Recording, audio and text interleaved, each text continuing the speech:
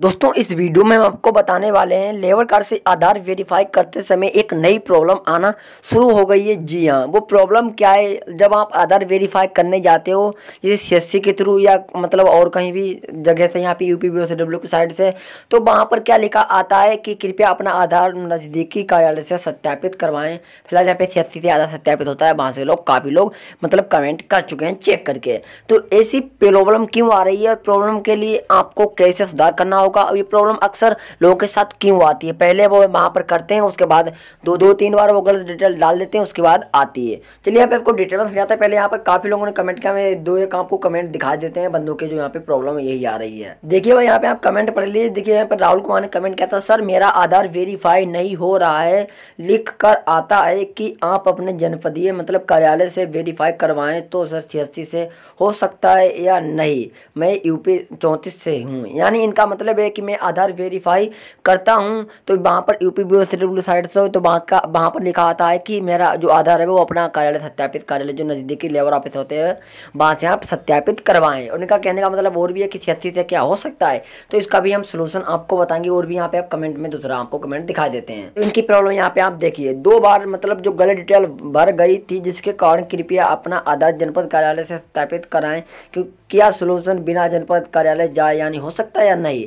तो यहाँ पे हम डिटेल में आपको समझाते हैं। सबसे पहले हम बात कर लेते हैं यहाँ पे क्यों लिखा आता है? कृपया अपना जो आधार कार्ड है, वो लेबर कार्ड से मतलब वेरीफाई करने के लिए कार्यालय से सत्यापित करवाएँ। देखो, ये इसलिए आता है, पहले जब आप आधार को यानी सत्यापित करने जाते हो सी के थ्रू यहाँ पे या तो आप चेक करते हो यहाँ से तो वहाँ पर जब दो बार आप डिटेल डाल देते हो, सत्यापित करते समय गलत डिटेल डाल देते हो, उसके बाद वेरीफाई पे, आधार सत्यापित पे क्लिक करते हो तो गलत डिटेल के कारण जो आपका आधार में डिटेल नहीं मैच होती है आधार कार्ड से तो वहाँ पर इजीलिए वो लिख के आने लगता है। कृपया जो अपना आधार कार्ड है, वो अपने नज़दीकी कार्यालय से सत्यापित करवाएँ इनका कहना सही था, इन्होंने कमेंट किया था। दो तीन बार अगर आप डिटेल डालोगे तो ऐसी प्रॉब्लम आपके साथ भी हो सकती है। या सभी के साथ नहीं होती है, क्यों ना आप दस बार डिटेल डालो मगर सभी के साथ नहीं होती है। अक्सर ये प्रॉब्लम क्यों आती है? मान लो अगर आपने लेबर कार्ड बनवाया है, किसी के पास दो आधार कार्ड होते हैं मतलब आधार कार्ड तो एक ही होता है, आधार नंबर एक ही होता है, वो आधार कार्ड में डिटेल गलत पाई जाती है। या वो आधार कार्ड में पहले बनवा लेते हैं लेबर कार्ड को, एक दो महीने या एक साल पहले, उसके बाद लेबर आधार कार्ड में वो करेक्शन करा देते हैं। आधार कार्ड में करेक्शन यानी करा देते हैं, वो डिटेल को चेंज करवा देते हैं डेट ऑफ़ बर्थ एड्रेस है। तो इसीलिए और भी आधा सत्यापित माँगता है। वैसी डिटेल ज़्यादा जो डिटेल गलत पाई जाती है, इसके लिए आपको कार्यालय से ही सत्यापित करवाने के लिए कहा जाता है विभाग का कहना है। तो अगर आपके साथ ऐसी प्रॉब्लम आ रही है, आप आपको बताने वाले, इसका सोल्यूशन आप कैसे कर सकते हो? क्या सी से हो सकता है आधा सत्यापित या नहीं हो सकता? है या आपको कार्यालय ही जाना होगा, लेबर कार्ड ऑफ़िस। देखो यहाँ पे अगर आपका भी यही प्रॉब्लम आ रही है, जो आपका कार्यालय से सत्यापित करवाएँ तो कोई भी घर बैठे सोल्यूशन नहीं है। मेरे साथ भी यही प्रॉब्लम भाई आ रही है। यहाँ पे अगर आपको सियासी से दिखाऊँ, देखिए मैं आपको लाइव यहाँ पे दिखा रहा हूँ। सियासी अभी चल नहीं रही है। अब सियासी से भी आधार वेरीफाई नहीं हो रहा है। यहाँ पे हमको डिटेल में दिखाई देते हैं। मैं सियासी लॉगिन करता हूँ। यहाँ पे सियासी लॉगिन पे क्लिक करूँगा यहाँ पे आगे ही पेज नहीं जाएगा। यहाँ पे रिड्रैक हो जाएगा, फिर से यहीं पे रुका रहेगा। तो यही प्रॉब्लम सभी के साथ आती है भाई। देखो यहाँ से देखो सियासी से पहले हो जाता था, दो एक दिन पहले, अब यहाँ पे सियासी के साथ भी प्रॉब्लम देखिए आई प्रॉब्लम मैं दोबारा यहाँ पे फिर से क्लिक करता हूँ, फिर आपको लाइव दिखा रहा हूँ ऐसा कुछ नहीं कि मैं यहाँ पे शेट वीडियो बना रहा हूँ यहाँ पे फिर से यहाँ पे रिड्रैक साइट हो जाएगी देखिए यहाँ पे कुछ देर होने देखिए यहाँ पे फिर से वापस हो गई अक्सर यहाँ पे प्रॉब्लम इसलिए आती है क्योंकि कुछ प्रॉब्लम हो गई होगी सर्वर में यहाँ पे इसलिए प्रॉब्लम आ रही है और यहाँ पे UP B O C W side से तो बहुत काफ़ी दिनों से नहीं हो रहा है तो यहाँ पे मैं आपको अगर यहाँ से आधार वेरीफाई कर नहीं सकते सिर्फ़ यहाँ से आप चेक कर पाओगे सीधी सी प्रॉब्लम अगर आपके लेबर कार्ड से आधार वेरीफाई करते हो मतलब चेक करते हो तो वहाँ पर यहाँ से जैसे मैं आपको बता रहा हूँ अपना आधार सत्यापित करवाएँ इस पर क्लिक करता हूँ आप और यहाँ पे चेक भी कर सकते हो। यहाँ पे मंडल को सिलेक्ट करना पड़ता है। मंडल जैसे मैं यहाँ से को, कोई भी मंडल को सिलेक्ट कर लेते हैं। उसके बाद यहाँ पे पंजीयन संख्या डालनी पड़ती है। जैसे मैं यहाँ से पंजीयन संख्या को डाल लेते हैं। पंजीयन संख्या डालने के बाद यहाँ पे सर्च का बटन पर क्लिक करना पड़ता है। जैसे सर्च के बटन पर क्लिक करोगे तो यहाँ पे अगर आपका वेरीफाइड होगा तो फिर भी यहाँ दिखा दिया जाएगा।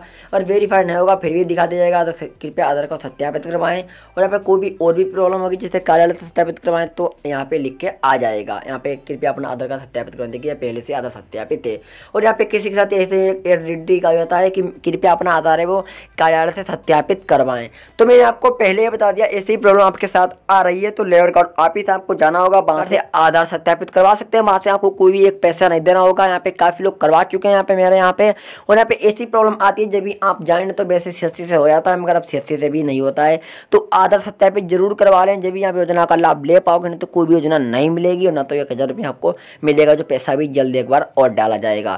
तो मैं आपसे निवेदन करता हूँ, अगर आपके कार्यालय सत्यापित करवाएँ, ऐसा कुछ लिखा आ रहा है। तो यहाँ पे यूट्यूब से वीडियो देखने से बेहतर है, आप कार्यालय जाएँ, लेबर कार्ड ऑफ़िस जाना होगा, वही कार्यालय होता है श्रम विभाग ऑफ़िस।